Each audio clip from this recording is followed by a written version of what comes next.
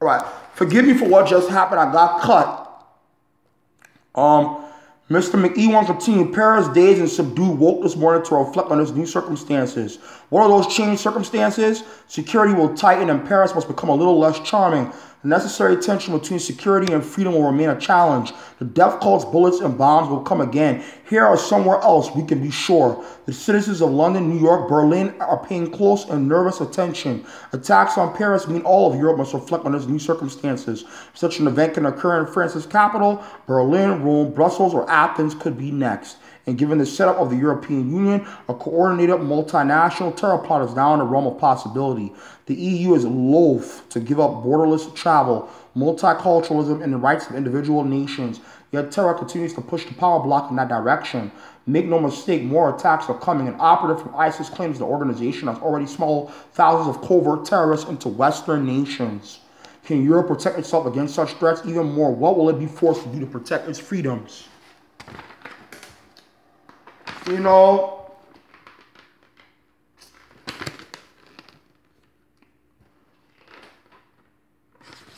I don't want to continue to read, but you know what?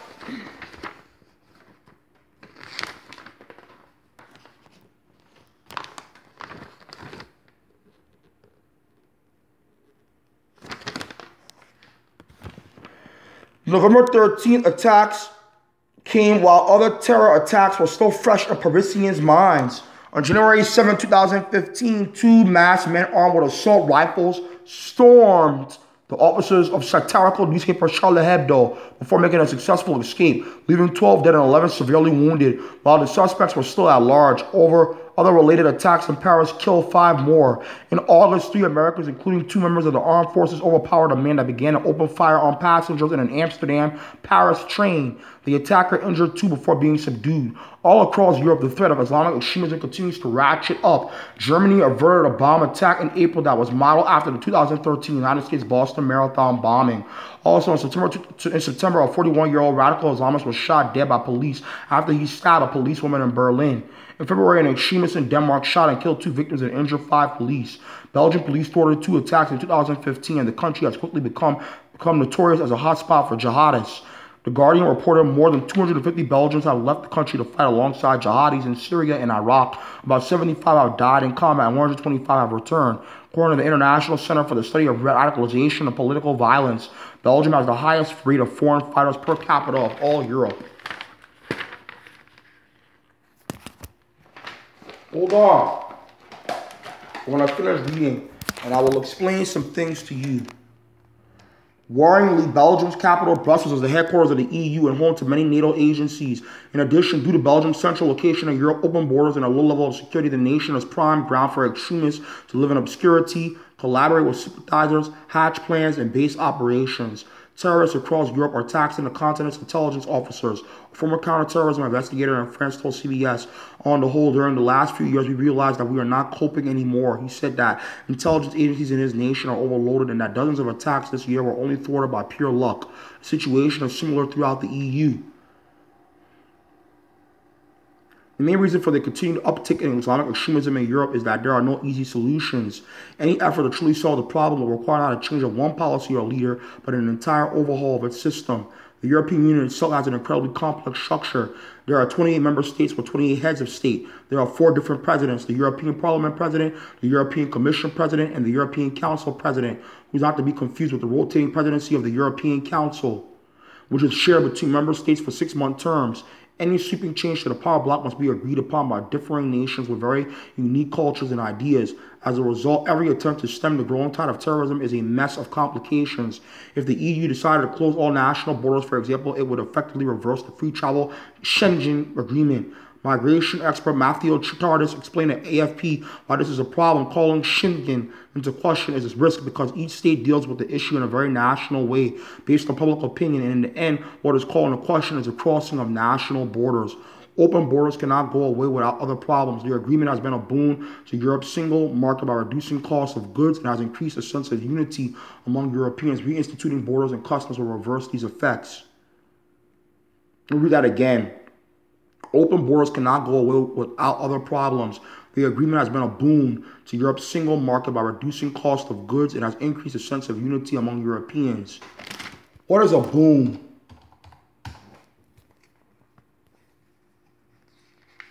Benefit or an advantage that to, that to leave the borders open is a is benefit to their nations, the nations of Europe. It could also force thousands of nationals to relocate. For instance, a Spanish native living in Belgium would potentially have to change his citizenship, get a visa, or move back to his country of origin. This does not even get into the logistical nightmare of figuring out what citizens are currently what citizens are currently where. Another issue is how to handle those fleeing to the EU from wars and environmental disasters. If the power bloc stops accepting the downtrodden from war-torn areas in the Middle East, it will be seen as harsh. Yet among the many legitimate evacuees, there could be terrorists and refugee clothing, as was the case with one perpetrator in the latest bombing in Paris. While Europe celebrates being a melting pot of cultures, this love of multiculturalism is being tested by a continuing increase in the number of Muslims there. In Germany and France, they make up 5.8% and 7.5% of the population, respectively. If governments crack down on, inherit, on inheritance Muslim, many innocent Muslims may be affected or be inadvertently radicalized.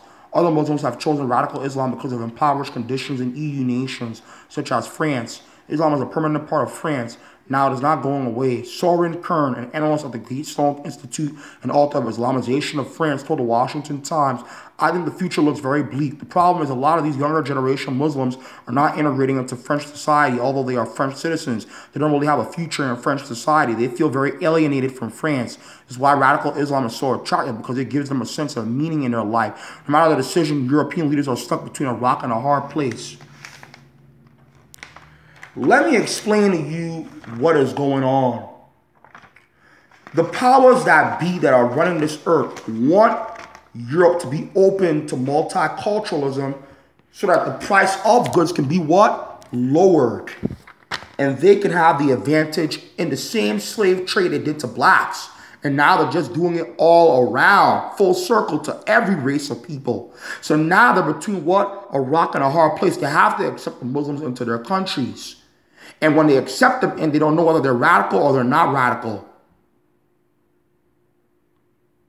Now the counterintelligence agencies are now taxed to the max because the powers that be do not want national sovereignty. They want an interconnected world in which they can control and influence you in the propaganda of Satan. And that through that propaganda, you can now stand up and say, we want more wars.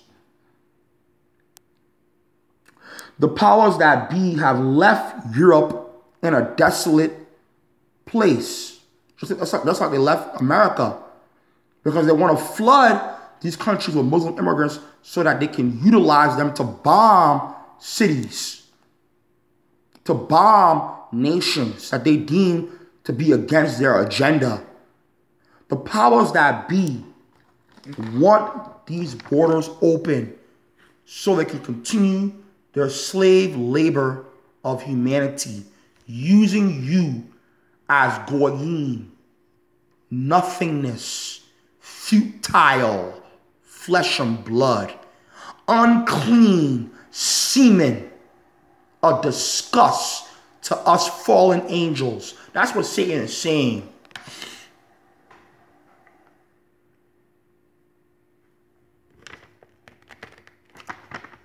The time for your kingdom, Edom, is at an end. You can no longer control the world like you want to. And as you try to find solutions, is the more you will find problems because you are of your father the devil, a liar and a murderer from the beginning that stood not in the truth, stood not in the love of Christ, stood not in the hope and in the faith of Christ that through him we can have power, righteous power, not power to control and destroy humanity for your filthy, selfish, and demonic agenda. Wake the hell up. Upholding EU ideals in the midst of this turmoil has proven to be an impossible juggling act. The power bloc cannot do either very well. The true threat may be against the EU as we know it. This is a predicament that is dividing the continent. That's a higher for you. He's dividing the Edomites because he wants to bring his people out of this mess that we created in the first place. Now he wants us to come back to him. Come back to him. He says, I love you. I love you. I love you. I love you. Just come to me and you will find your rest in me. Even before Paris, Schengen was crumbling under the pressure of what some have called the Great Migration from the Middle East and Africa into the EU.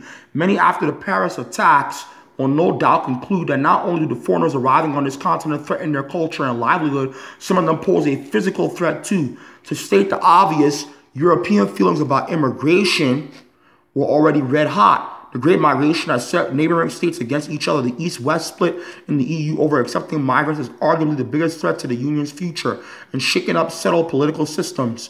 Even Angela Merkel, who has for so long looked like a near-permanent future of German politics, now looks mortal. Mrs. Merkel's decade-long and powerful position as German Chancellor is under severe threat as a backlash to her continued approval of more Syrian refugees into her nation.